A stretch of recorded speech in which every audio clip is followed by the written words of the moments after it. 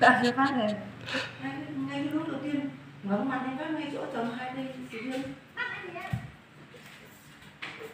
ui con sầu nó chín hết rồi Nó ở đây gì?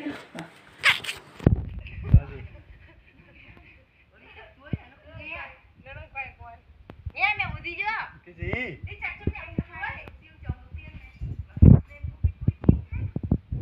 Lên đi. khóa ra chứ tí nữa tối mà Ờ, ăn chia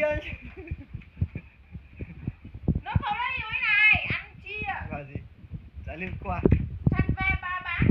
Phải cho người anh tiền túi. À lợn đi, ăn chia chia đi cùng cướp đi. Đánh nội chìa khóa đéo lần. Quay cái đi.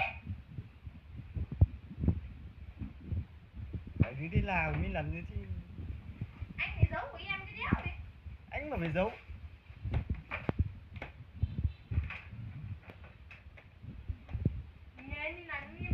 Là anh có cầm đâu một lần. Không anh cầm nha anh cầm. để chìa khóa để ngoài kia mà để trong này luôn.